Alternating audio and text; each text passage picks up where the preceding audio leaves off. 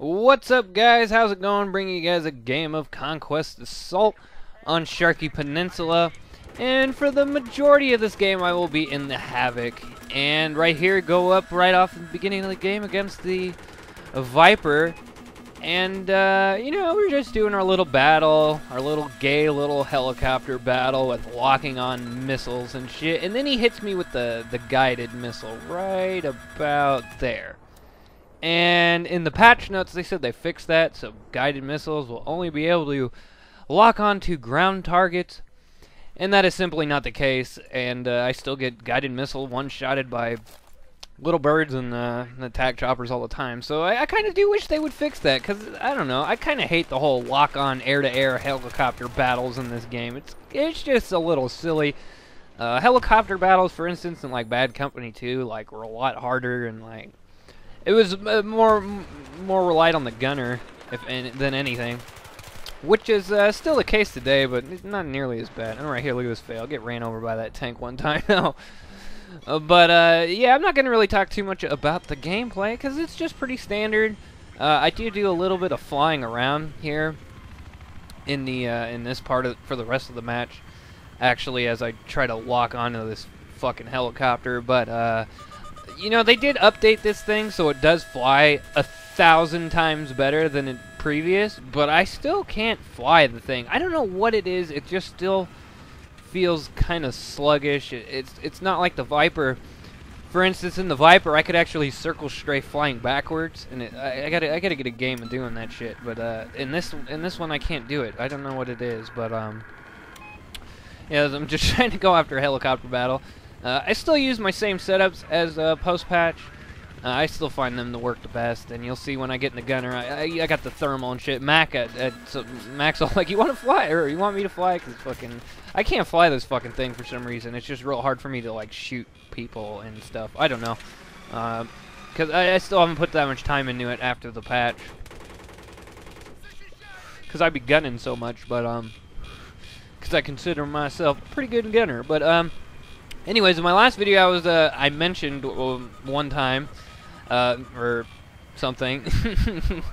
uh, the first time I got arrested when I was the eight years of the age, and uh, that is correct. The first time I got arrested, I was eight, and that's not to say that I've been arrested a shitload of times, which I have not.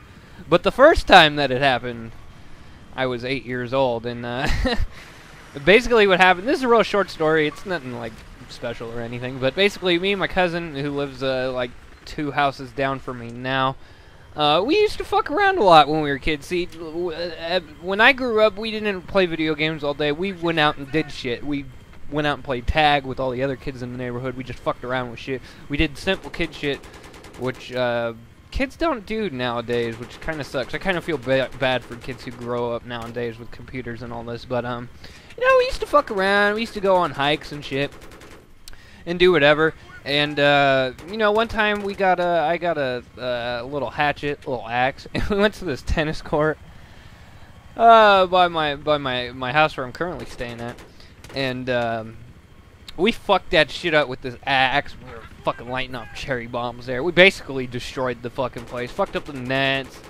and a whole bunch of shit. And like a week later, fucking, we were there like fucking around, and some kids from the neighborhood were all like, "Oh, what happened?" My cousin was fucking just bragging his ass off, telling them what we did. And do you know what happened?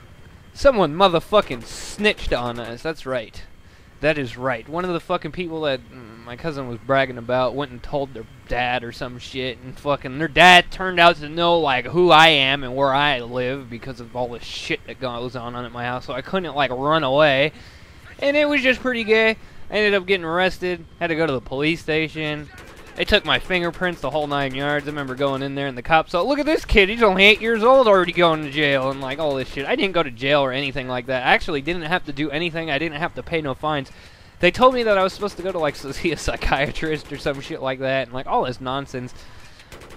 And I never had to do any of that. My cousin actually did, which is weird. I don't know why they didn't make me do any of that stuff, but um yeah, it was it, it wasn't anything special. I don't think that shit's still on my record. I didn't even really get in trouble for my mom. I was so scared to death that my mom was gonna like kill me that I think she felt bad for me that I was like I was more frightened by my mom than the cops. Like, fuck the cops. but My mom, fuck that shit. She scares the shit out of me, or at least she did when I was a little kid. So, that's pretty much it.